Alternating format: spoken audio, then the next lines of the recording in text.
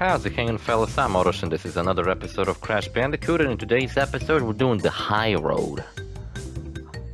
It's over. Crash, I got the high road. I fucking...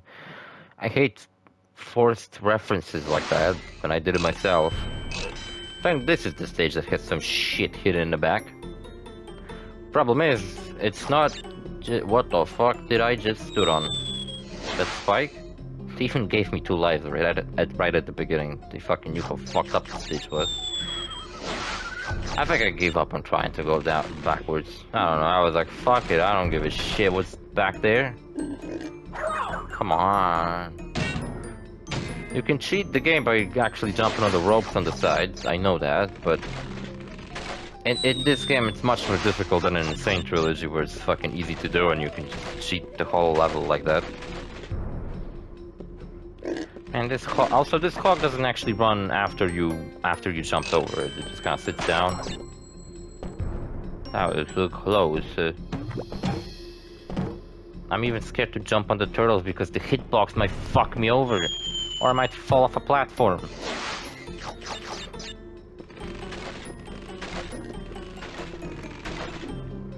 Music's cool though. Yeah, I was talking about the Yuzu emulator uh, last episode, and it does seem to have. I don't know what happened also because uh, I I downloaded Mario and Rabbids Kingdom Battle, and the game wouldn't work. First of all, the game had to be played in the Pro Controller mode, docked, specifically docked. It couldn't be handheld mode because if it was, then the screen would be all black for some reason. So it had to be docked. Then the screen would appear flawlessly. Everything. Whoa, that was fucking close. Everything would have been fine. But then when the game loads, it loads a load of bullshit because it doesn't fucking load, it crashes. And didn't only crash the game or the emulator, it crashed the whole fucking Steam Deck. Or I get to reset the fucking console. So, I know it's not a console, but I like to call it that. I, I straight up just call it my Nintendo Switch, because that's what it is. Even though it's more than that. My fucking PC, my PS2, it's my everything, it's my whole world. I got a feeling this was a really fucking good purchase I just made with the Steam Deck. One I'm not gonna regret. It almost feels like I got the Vita again. I'm just gonna lay in my bed. Yeah, that's what I did yesterday. I like took a shower. It was a fucked up thunderstorm outside yesterday. Let me tell you about that later. And and yeah, I laid in my bed, played Mario and Rabbids Kingdom Battle. And when the game loads a new location, it really stutters in those moments where it lags. But maybe I just... I didn't mess at all with the settings, so perhaps there's some settings I... I gotta like look up some people's recommendations just for the best fucking possible settings to get the best performance out of the Yuzu emulator so I can just set it up like that. Also, I would like to also do that to my PS2 because I believe the Steam Deck can pull off playing PS2 games at some kind of high resolution full screen hack. Because there is a full screen hack and I would like to know how it works. I never played Crash Insanity in a fucking full screen. That'd be an experience.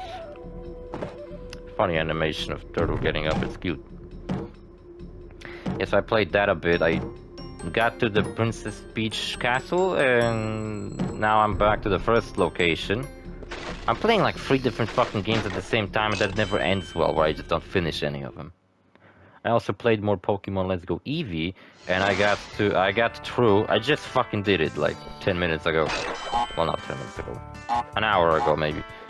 And I got through the third gym, which was the Thunder Gym. I just decided to skip boxes, I guess. Oh man, did I fucked up.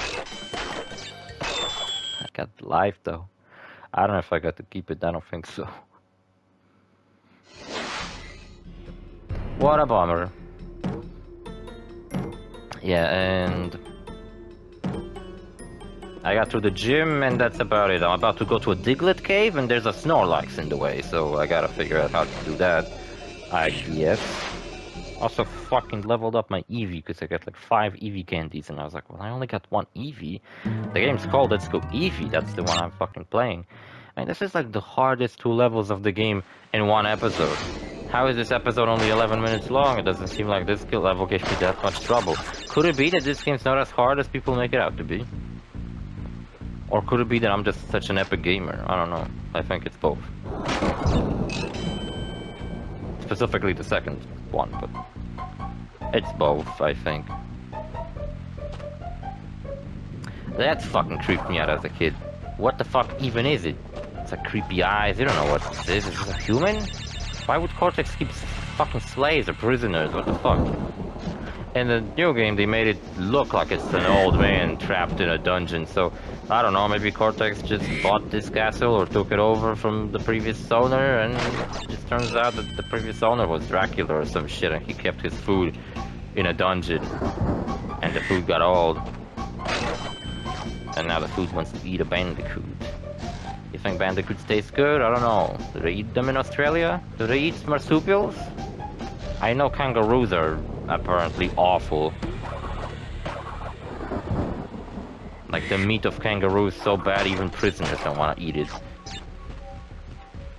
That's how fucking disgusting apparently it is. And yeah, so the Yuzu emulator staggers a little bit when loading a new area. I don't know if maybe it's just that game. Or maybe I gotta mess around with the settings to get the best performance. That could be too the case. And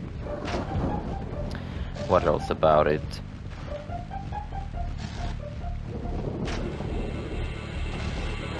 But I don't want to fuck around with the emulator too much because it seems to be a very careful, very fragile fucking thing because it seems like anytime I change one fucking setting, all of a sudden nothing works. So I would like to keep it the way where it actually works.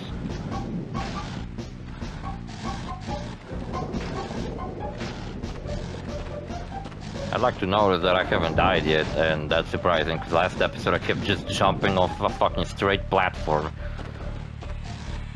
Last episode I performed so fucking badly, I started to think like, what the fuck was I doing while recording this game? Could it have been that I just recorded this entire game in one go and I just kinda got fucking sick and tired here? Look, we're like halfway through this stupid bullshit stage. I think I... I did start it eventually dying, so it's not like I went through the whole fucking level flawlessly. And that's a long stretch of level you gotta go through without fucking dying, I gotta say. Maybe that's why people find this so difficult.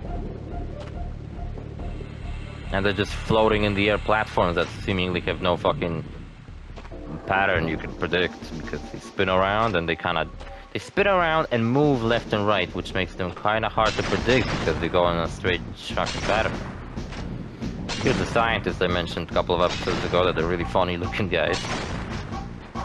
Apparently they're clones or like uh, androids or cyborgs. No, not cyborgs, androids I think Crash 3 revealed their origin where they're androids and Cortex is like a factory making those guys.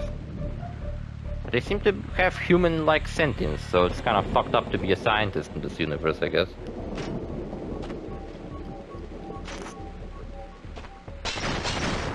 Maybe Crash 6 will have an actual scientist as a character and they'll like actually say stuff. I think they even had a female scientist in one of the in Crash 4, didn't they?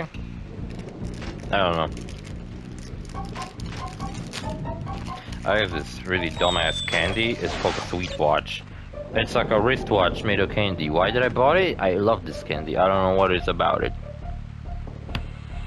I love, I love it. But maybe I shouldn't fucking eat candy while I record a fucking video. Yeah, I think that's a good idea. Oh yeah, Fanta Exotic is really good. I keep drinking it now. Man, it gets so unbelievably fucking humid in my room once I close the fucking windows and turn off the fan and close the doors. Jesus Christ. And people are surprised when I say that I prefer winter to summer. Yes, I think I'll, I don't know, check out some, like, tutorial or some people's opinion on what are the best settings for those two emulators. And maybe I'll download OBS and see how it works. I'll probably not be playing more Pokemon today. Or Mario. I might finish Sonic Prime or keep going with Grand Theft Auto 4 so I can wrap up that game. And yeah, those are my plans. For the rest of the day. I was gonna tell you about the fucked up storm. So yesterday I went out with my friends to meet up with a friend who hasn't been in town in a long while. Wanted to give her some Korean candy I had. We met up and we were supposed to go take a walk and like pick up some stuff with her. But it started raining and it became such a fucked up huge thunderstorm that we hid that we hid from it. And we're looking out the window and my friend is like, oh look, the trash can's being carried away. And we're like, who the fuck is taking away trash at this fucking, in this weather? And we're looking outside and it's the wind. And the trash can fucking traveled all across. Nice. Good fucking job. The trash can just like drove across the parking lot, hit a bunch of cars on the way. Thankfully mine was in a garage, so didn't get hit or wet. It was so fucking windy that two trash cans were carried out. One reached the other end of the parking lot, which isn't a short parking lot. It's like a very long, narrow parking lot. It's not like a square-shaped one. At the entrance of it, there are trash bins, and and it fucking got to the other end. A tree fell on a different car. While I was walking back from work and I went to pick up some stuff on the way, some food, I noticed a lot of fucking trees like just straight up fell over. Well, there were a lot of like big branches on the ground, but I don't think any. That was the only tree I genuinely saw fall over. Also, while I, the storm was happening, I heard a bunch of sirens, so I guess some other fucked up shit must have happened. So see you fellas in the next episode, bye.